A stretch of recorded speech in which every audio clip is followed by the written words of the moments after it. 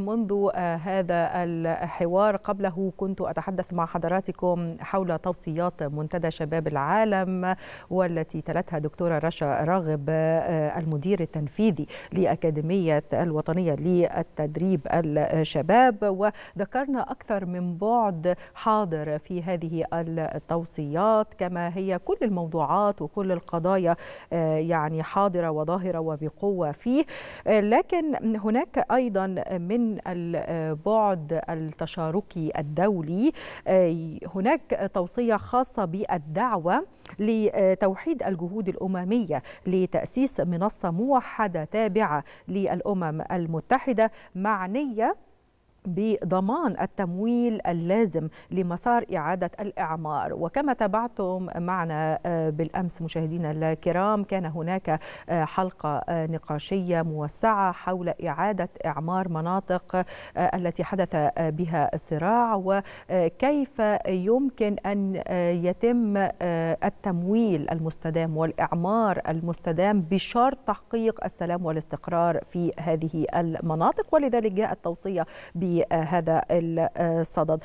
أيضا بعد آخر وتوصية أخرى في هذه التوصيات وهو الأهم من يعني وجهة نظري فكرة إطلاق استراتيجية دولية تستهدف تعزيز التضامن الإنساني والاجتماعي وخلق فرص ومجال أكبر لدعم السلم والأمن الدوليين فيما بعد الجائحة. هذا هو العنوان العريض وهذه هي التوصية الأكبر بالتاكيد في هذه التوصيات.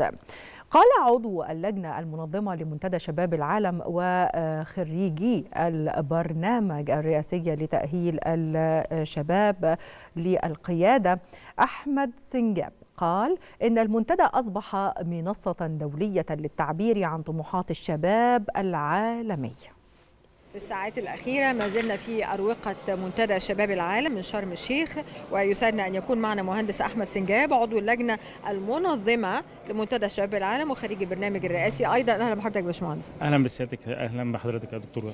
يعني إحنا بن بنبارك لكم وبنهنيكم ونشكركم أيضا على هذا التنظيم الرائع لمنتدى في هذه المرة خاصة إنها هي مرة مختلفة جدا واستثنائية بعد بداية جائحة كورونا. بالظبط إحنا إحنا يعني في الحقيقة كان في تحدي كبير اللي هو إن إحنا نعمل مؤتمر في ظل وجود جائحة كورونا والحمد لله ربنا وفقنا وقدرنا نعمل المؤتمر ده ويعني وقدرنا نعمل نجاح غير مسبوق وباستضافة العدد ده آه آه وحقيقي يعني إحنا إحنا سعداء بتواجدكم معانا وإن إحنا يا رب نكون قدرنا نضيف حاجة للعالم كله ونقدم لهم محتوى يليق باسم مصر وباسم شباب مصر يعني.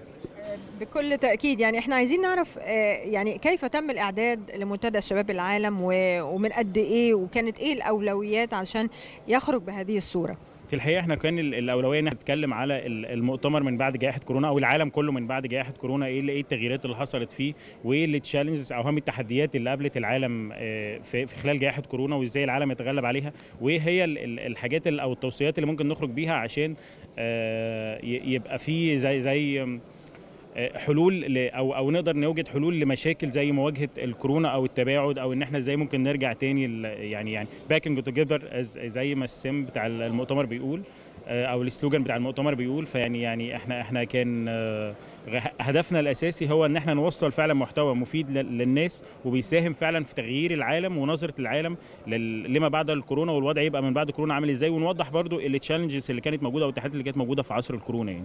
طيب هي عملية تنظيم المؤتمر أكيد فيها لوجستيات وفيها حاجات تتعلق بال بال concept أو الفكرة أو التصور للمؤتمر يعني حضرتك اشرح لنا الهيكل العام للعملية التنظيميه لمنتدى شباب العالم. الهيكل العام إن بيبقى بيبقى عندنا لجان كتيرة جوه جوه المؤتمر. كل لجنة بتبقى مسؤولة عن عن عن جزء بعينه وكل لجنة بيبقى ليها مسؤول منظم عنها سواء اللجنة بتاعه المحتوى أو اللجنة بتاعه اللوجيستكس أو اللجنة بتاعه الانتقالات أو اللجنة بتاعه الطيران أو كل كل لجنة وليها يعني يعني يعني أو كل كل كل جزء في المؤتمر وله الجزء المسؤول عنه أو اللجنة المسؤولة عنه يعني. وفي الهدف كله إن إحنا بنحاول نشتغل كتيم واحد أو كفريق واحد عشان نظهر بمستوى يليق بشباب مصر وباسم مصر يعني. طيب بالنسبة للاجراءات الاحترازية اللي كانت موجودة هنا إحنا شفنا إجراءات احترازية وبيتعمل بي ار أو لكل المشاركين في المنتدى وهم في المطار. يعني إزاي تم الإعداد للإجراءات الاحترازية أيضا؟ هو في الحقيقة كان في لجنة مخصصة السنة دي للإجراءات الاحترازية ولمتابعة كل الحالات الصحية ومتابعة الحالات زي ما حضرتك قلت كان في PCR كل كل يوم تقريبا للمشاركين في المؤتمر والإجراءات الاحترازية إن يبقى في تباعد وحتى خد يعني يمكن حضرتك لاحظتي ده في حتى في في الجلوس في الجلسات ما بين الناس وبعضها كان في تباعد ما بين كل الناس. آه وكان في أساسا كمان شركة مسؤولة عن التنظيم بتاع الأجراءات الاحترازية جوه جوه المؤتمر يعني. أكثر التحديات اللي واجهتكم في تنظيم المؤتمر خاصة في الساعات الأخيرة وكان خلاص بالافتتاح قرب وأيضا إحنا دلوقتي فضل ساعات ويختتم المؤتمر.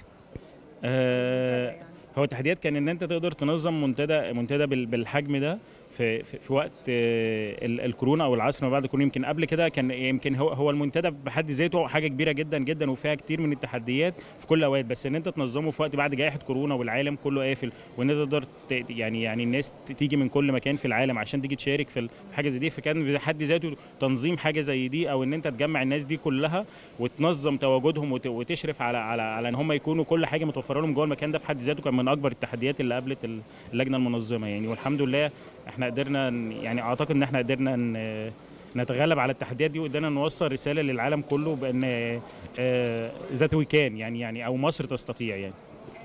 يعني تصور حضرتك أو احلامك أو أو رؤيتك لمنتديات شباب العالم أو منتدى شباب العالم بمعنى اصح في النسخ القادمة. آه التصور بتاعي إن إحنا يبقى أو يعني اوريدي إحنا أو يعني بقينا منصة عالمية للحديث أو للحوار ما بين شباب العالم كلهم. فأنا أتمنى ان ان ان, إن إحنا نبقى في يوم من الأيام مؤثرين في العالم كله مش بس في مصر قادرين نغير العالم لمكان أحسن قادرين نخلي الناس تعيش مع بعض أكتر في في حب وفي سلام وإنسانية ونحسن حتى أو نخلي العالم كله هو بيتر بليس أو مكان أحسن. بالنسبة للعالم كله مش مش لمصر بس يعني. إن شاء الله. إحنا بنشكر حضرتك. شكرا جزيلا. مهندس أحمد سنجاب عضو لجنة منظمة منتدى شباب العالم وخريج البرنامج الرئاسي. شكرا جزيلا لك. العفو العفو العفو يا فندم. شكرا زملائي الاعزاء وشكرا أيضا مشاهدينا الكرام وعودة مرة أخرى. إلى الاستوديو. شكرا زميلتي أميمة تمام على هذا الحوار من منتدى شباب العالم. وكما قادنا هذا الحوار إلى أن العالم بعد الجائحة بالتأكيد هو عالم مختلف ومتغير لما قبل هذه الجائحة. وبالتالي هذا التغير يفرض على العالم أولويات مختلفة للتعامل معها وفقا لمعطيات الجائحة إذا جاز الوصف.